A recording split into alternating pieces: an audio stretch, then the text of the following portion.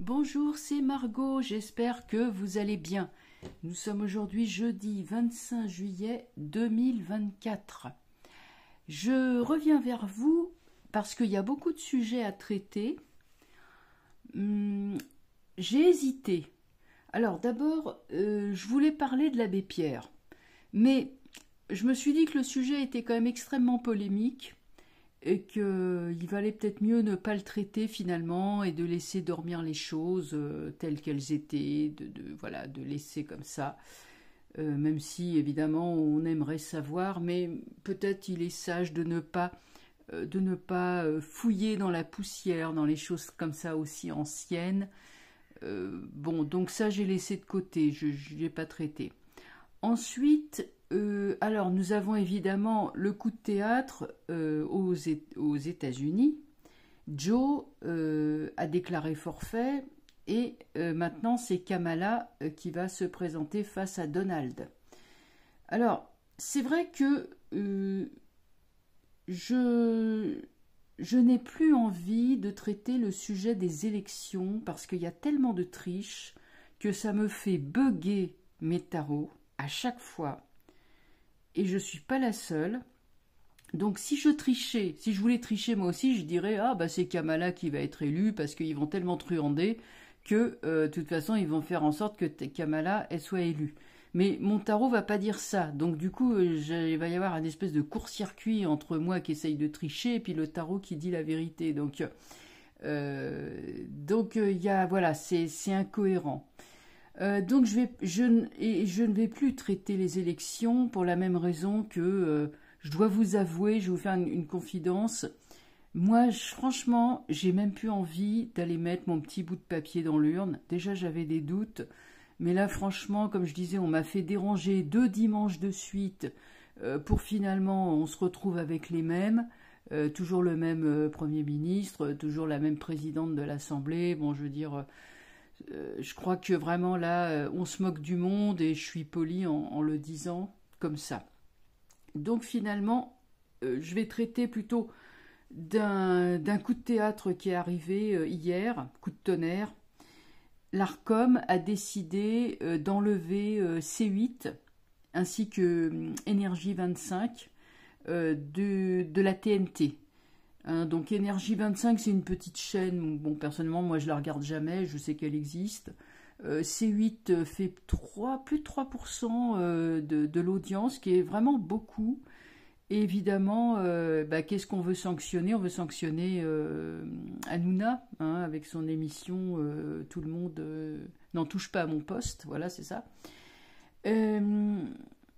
Alors, bon, on, apprécie ou pas Hanouna, son style, etc. Mais il faut reconnaître chez lui, il y a quand même une liberté d'expression euh, qu'on trouve euh, quand même euh, bah, quasiment nulle part ailleurs. Alors, donc, c'est une attaque sans précédent sur la liberté d'expression. Moi, je voudrais savoir tout simplement, bah, qu'est-ce qui va, est-ce que, est-ce qu'il y a un système, système totalitaire qui est en train de se mettre en place et en train de d'enserrer nos libertés. Voilà, c'est entre, entre le QR code qui revient pour les JO, euh, ces JO de la honte. Écoutez, j'ai même pas traité le sujet tellement c'est un non-événement pour moi ce truc-là. Euh, c'est tout et n'importe quoi. Ils ont commencé les matchs de foot avant même la cérémonie d'ouverture. Il y a eu plein de problèmes. Euh, c'est les Argentins, ils se sont fait faucher euh, des trucs dans les vestiaires. Euh, il y en a qui sont. Il y, a, les supporters, alors je sais plus de quelle équipe, qui sont arrivés sur la pelouse. Enfin bon, non, mais c'est. C'est grand guignol, quoi. Voilà, on est dans du guignol. Alors, donc c'est pour ça que là, je vais parler de cette décision, évidemment unilatérale, comme ça, ça tombe comme un cheveu sur la soupe allez hop, euh, on ferme, euh, on supprime CNews, voilà. Bon, l'autre aussi, Énergie 25, mais c'est surtout CNews, donc, et, euh, et donc l'émission d'Anouna qui était extrêmement suivie. parce que, bah oui, parce que les gens sentent bien que là, il y a une liberté de ton, vous voyez, les émissions plan-plan, ronron, propagande, va pas y avoir grand monde, hein, moi je sais pas. Des fois, je vois, je vois, les, je vois, certaines chaînes mainstream qui essayent de, se mettre aussi sur, sur YouTube.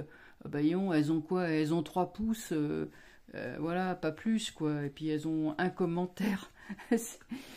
enfin voilà. Alors, bon, je me concentre. On va regarder tout simplement si Là, ils sont en train de passer euh, à la vitesse euh, supérieure, c'est-à-dire euh, museler la liberté d'expression, enlever les espaces où les gens peuvent s'exprimer librement, bon bah tel que tel que C8. Hein, et puis après, ça va être quoi? Ça va être CNews probablement. CNews a échappé, a échappé à la, à la, censure pour l'instant, mais bon, ils sont dans le collimateur eux aussi. Mais en tout cas, on va demander euh, qu'est-ce qui est en train de se passer, euh, comment ça va évoluer, euh, ces, attaques comme ça sur la liberté d'expression? Parce que ça, je le dis franchement, hein, je vois pas, je vois pas qu'est-ce qui justifie de supprimer ces 8. 3,8%. C'est encore plus que justement que, que CNews. Alors, on va regarder. Qu'est-ce qui est en train de se passer? Papesse renversée. C'est des magouilles, c'est de la. C'est vraiment la cuisine, comme ils font depuis voilà la tambouille, la cuisine. Euh, c'est de la une espèce de d'attaque sournoise. Alors c'est sournois, c'est caché, c'est secret. Il y a un plan secret. Euh, mais alors euh, comme c'est renversé, c'est encore plus secret. On veut vraiment, ils veulent détruire. Donc leur but, c'est par des manœuvres des manœuvres cachées, des manœuvres sournoises et, pas du tout bienveillantes. Ils veulent vraiment détruire, euh, détruire le pays, détruire c'est-à-dire la, raison, la pensée, hein, c'est la tête, hein, c'est le siège de la tête, la raison, la pensée, la parole, l'esprit critique. ils veulent vraiment, ils, veulent vraiment tout détruire. franchement, il y a regardez un petit peu. Euh, je veux dire, à chaque fois que j'interroge sur ces gens-là, à chaque fois j'ai des trucs comme ça. C'est incroyable. Donc c'est vraiment l'antéchrist. Euh, toute cette clique, euh, c'est l'antéchrist, c'est les forces du mal. C'est vraiment, voilà. Franchement, je peux pas dire autrement. Il est vraiment bien, bien, bien représenté. Et c'est marrant. J'étais sûre que j'allais la sortir, l'étoile. Alors, en fait, retardé. Hein. L'étoile, c'est. Elle balaye tout. L'étoile, c'est la plus forte carte du jeu, la, plus belle, la meilleure. Euh, André Breton disait, c'est un, écrivain surréaliste, il disait c'est ma préférée, c'est la plus belle. Et, moi, je suis d'accord parce que vraiment, l'étoile, c'est. Elle nous dit soyez patients, on va pas nous museler. Ils essayent, ils, font du bruit, ils nous font peur. C'est tonitruant, ça va dans tous les sens. C'est comme un orage. Vous savez, les éclairs se succèdent, le tonnerre gronde. Euh, des fois, il frappe le sol, et puis même la terre tremble, hein, des fois, hein, quand il, tombe à côté. Hein. Euh, surtout les orages de campagne, comme ça, vous voyez, en race campagne. ça fait peur, ça fait peur, mais on est protégé. Il y a l'étoile. Donc, c'est vraiment bien. il, passe à la vitesse supérieure en essayant de, museler les gens, de, priver les gens de liberté d'expression, de les priver de, de comment dire, ouais, de les priver de liberté, quoi, tout simplement, parce que, mais, mais ça, ça va pas marcher. L'étoile est là. Alors, c'est vrai qu'on moi j'aurais préféré qu'elle soit droite, euh, ça aurait été bien mieux, mais euh, ça aurait été plus rapide surtout. Mais qu'elle soit droite ou renversée, l'étoile, elle est bonne. On va continuer, on va les recouvrir. Alors je vais laisser comme ça parce que normalement, normalement, on, ne recouvre pas l'étoile, c'est pas la peine. Alors l'ermite renversée, c'est toujours pareil. Ils ont des conseillers, des conseillers secrets, cachés, etc. Ça mijote, ça complote, ça, élabore des plans tordus. C'est vraiment des stratégies tordues. Euh, après, le fait que ce soit renversé, c'est peut-être pas aussi puissant que ça en a l'air. Parce qu'on dirait aussi qu'il y a des mauvais conseillers. Vous savez, c'est un peu euh, l'image du monde politique euh, en ce moment qui arrive même pas à se mettre d'accord. voilà, parce que la politique est en train de couler tout simplement. Donc, il n'y a rien qui sortira. Et bien là, c'est pareil. toutes leurs petites manœuvres dilatoires, etc., pour contrôler la situation. On veut détruire. Ça, ça, ça c'est facile hein, de détruire. Alors, qu'est-ce que j'ai là? J'ai battleur renversé. Je sais pas trop comment euh, le dire. Euh, un homme jeune, enfin jeune, oui, ça pourrait représenter Fantomas. C'est Fantomas et sa clique. C'est les, vraiment les, mauvaises, mauvaises personnes, conseillers euh, occultes, etc. tiens, je vais quand même remettre sur l'étoile, je sais qu'il faut pas, mais bon, allez hop j'ai justice renversée. Bon, certes, certes renversée, mais étoile et justice, c'est vraiment le retour de euh, ce que l'on appelle en Inde le dharma, c'est-à-dire le retour de euh, retour à la normale, retour à la justice, retour à l'ordre juste des choses. Ça prendra beaucoup de temps et c'est marrant, tout sort renversé. Donc ça ça augmente l'impression de confusion, mais je dirais finalement qu'on est plus dans la confusion, euh, dans, dans la stupeur, que, que vraiment dans la répression. Vous voyez, c'est pas comme si euh, du jour au lendemain, euh, allez, vous savez, le, le, mur de Berlin, ça s'est construit en, une nuit hein, ou une journée. ça a été très vite. Et les gens, quand ils ont vu le mur, ils, se sont dépêchés de le franchir. Hein. Ils, avaient compris, ils savaient, ils savaient ce qui les attendait. Euh, donc, euh, c'était en 61. Et bien là, c'est pas tout à fait pareil. C'est pas quelque chose qui se met en place pour museler les gens pendant des décennies. C'est pas ça du tout. Et je crois que euh, d'autres médiums et d'autres astrologues iront euh, dans mon sens, à savoir que nous allons dans l'idée que pardon, pardon, tout est en train de tomber, tout est en train de s'écrouler, y compris les tentatives de dictature. Autant par le passé ça a pris sur des malheureux peuples qui subissent encore aujourd'hui euh, les affres de la dictature, mais autant aujourd'hui pour instaurer comme ça une nouvelle dictature, le terreau il est même pas stable. C'est ça remue tellement dans tous les sens que en fait tout s'écroule. Tout ce qui n'est pas conforme aux lois divines va s'écrouler. C'est le, le message que donnent ces deux cartes. Donc en fait c'est une espèce de d'orage euh, voilà les répressions et tout, et surtout, surtout la gouvernance par la peur. Euh, voilà. Les... Après, il va y avoir aussi, bien sûr, une, euh, une comment dire, une organisation. Les gens vont se rebiffer, vont pas accepter ça. Alors, je vais les remettre dans le jeu.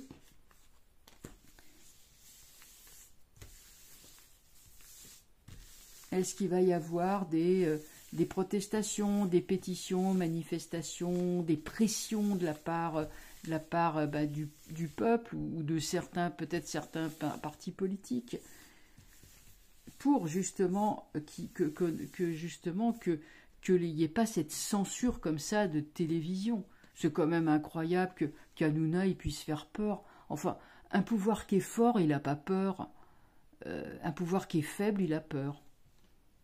Moi, j'ai connu, euh, vous savez, euh, du temps de Mitterrand, il y avait Michel Polac avec son émission Droit de répondre. Ça, allait loin quand même. Hein. Mais euh, jamais il a été censuré, Polac. Hein. Ça, à l'époque, il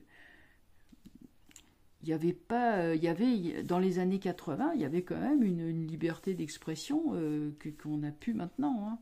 Bon, alors, je continue. Est-ce que on va. Est-ce qu'il y a des gens qui vont se, se révolter, se rebiffer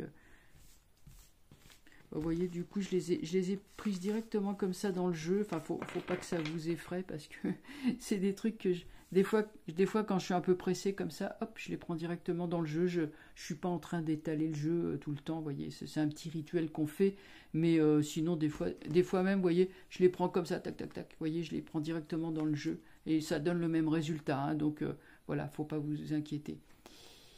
Alors, justice renversée. Il y a des gens qui vont être indignés et euh, qui vont dire ouais ça c'est un déni de justice, c'est pas normal. Encore la papesse, ah ben, on la revoit celle-là, c'est dingue. Hein. Bon, il y a des actions en justice. Hein. Ben ouais, ben c'est les mêmes cartes qui ressortent. Hein.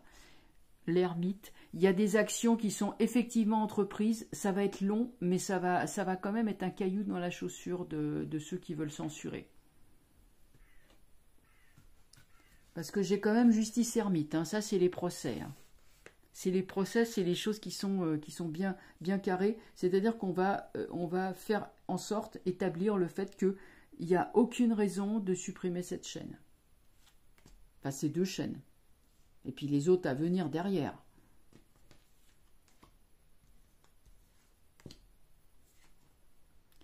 Justice-jugement, on est sur le procès. Papesse amoureux, on est sur la délibération euh, par ah qu'est-ce qu'on fait, etc. On ne sait plus, on hésite. Ils hésitent hein, du coup. Ils, peuvent faire machine arrière. Ermite arcane sans nom. Donc là, euh, va y avoir une bataille féroce et finalement, sur l'une route fortune, l'une, je dirais, c'est les écrans, écrans cathodiques, enfin, c'est les écrans de télé. On peut parler ça comme ça. Cette chose, euh, ça va passer, on va pas être dans l'interdiction euh, pure et simple, euh, parce que il va y avoir des actions de lancer pour justement bloquer cette procédure. Voilà, donc faut s'attendre à des, batailles juridiques. Enfin, en tout cas, en face, il y aura, y aura une réaction. On va pas laisser faire ça. Je veux dire, c'est enfin, enfin, c'est dingue, quoi, quand même. Vous vous souvenez, Charlie, que tout le monde disait je suis Charlie et tout. Et en 2015, 10 ans après, 29 ans après, allez hop, on supprime, euh, on supprime quelque chose qui dérange. moi, je dis franchement à Nouna, qu'est-ce qui peut avoir bien d'aussi effrayant pour, pour les déranger à ce point? C'est, Ça n'a pas de sens franchement. Enfin voilà. Voilà, écoutez, euh, je vous laisse donc euh, sur ce. Évidemment, vous avez vu comme, euh, comme la, l'actualité va vite, mais en gros, bon, la, nullité abyssale et insondable des gens qui, qui, sont là, qui nous gouvernent, c'est, c'est un spectacle en soi. Et, et heureusement que, que, en gros, euh, c'est quand même euh, c'est quand même une c'est très très velléitaire voilà c'est très velléitaire même s'ils élaborent des plans etc etc ils essayent de les mettre en œuvre et finalement ça marche pas comme ils le veulent c'est ça, ça vous voyez tout ce qu'ils essayent ça ça foire hein, ça ça leur claque dans les pattes regardez euh, les, les, velléités euh, de porter le flambeau de la guerre contre, contre le, pays, euh, le pays de l'ours, le pays de Vladimir, bah, on n'entend plus parler. Hein, c'en est où? Euh, Il y avait la bombe là, qui, devait, qui devait nous exploser. bon, ah bah voilà. C'est, on en, voyez, voyez, donc c'est pour ça tout ça, ça passe, ça, tourne, c'est la route fortune, hein, c'est comme un kaléidoscope. Voilà, je vous laisse et puis je vous dis donc à très bientôt. Au revoir.